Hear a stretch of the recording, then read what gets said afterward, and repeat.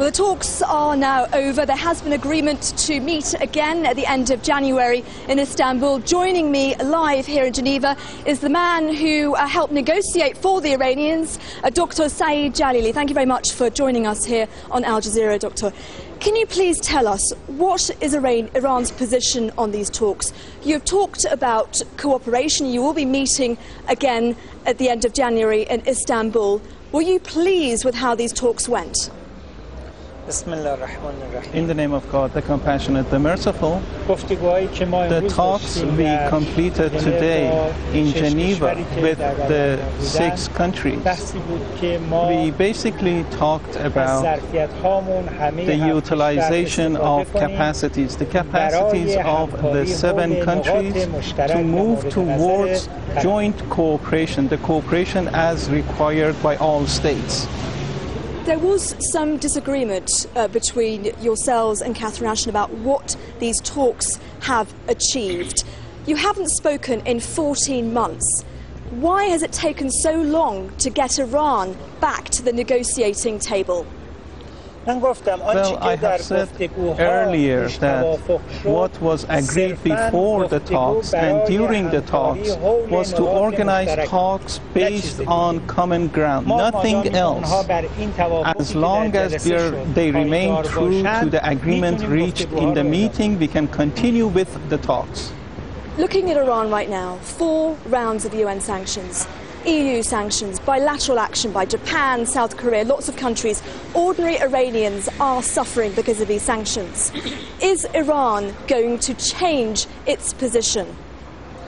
Well, you know well that today in Iran we are organizing one of the largest economic reform schemes I use the word surgery to start such a major economic scheme or economic surgery is based on the huge economic and political capabilities that exist right now inside Iran. As you said earlier, they have taken certain action and these are based on miscalculations and misinformation. They were thinking that through the sanctions they can prevent Iran from developing. Today, they see for themselves that Iran is stronger than before. It is forging ahead, moving ahead in economic even, fields. Even China and Russia uh, voted, agreed with the last round of sanctions in June. China and Russia, supposedly Iran's allies.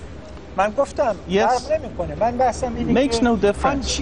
My point is, what has happened in the context of the sanctions? Today they saw for themselves that sanctions cannot prevent the development of the Islamic Republic of Iran. The Islamic Republic of Iran today is stronger than any time before in economic fields, in other fields, and uh, actually the world today is asking this question. People are contacting their congressmen and officials.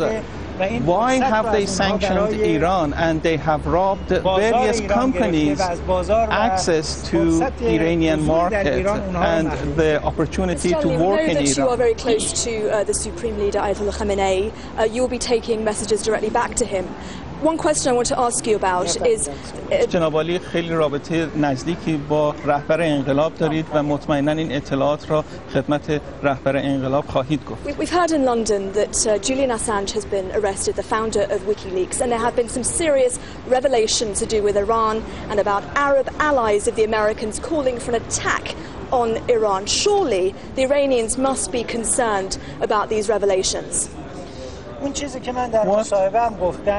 Well, I referred to this in the press conference. Our relations with our neighbors and friends is a historic, deeply rooted, friendly and comprehensive relations. We are not talking about a set of relations, relations rather, which can be adversely affected through some mischief How seriously do you take these threats? Americans have not ruled out a military option with Iran, and we're, we're hearing rhetoric, uh, tough rhetoric from the Israelis almost on a weekly basis.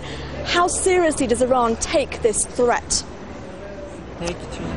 خطر آمریکا ما هر هفته میشنویم که آمریکا ایران را تهدید میکنه شما چقدر جدی میگیرید این خطر را این تهدیدات را در حد همین خنده که Well, I'm just laughing at it. It's laughable.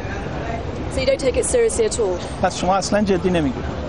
ببینید امریکایی ها و کسانی که از ابتدای پیروزی and those who from the first days of the Islamic revolution in Iran didn't want to see it happen but it happened regardless خیلی از اقدامات رو اونها they have taken a lot of action to prevent the revolution and the reality imposed itself a good example would be what you said earlier they imposed sanctions on Iran to pressure us but today you see they have no options before them but to negotiate. They sit behind the table of negotiations and they're anxious to negotiate. Thank you very much for joining us here on Al Jazeera.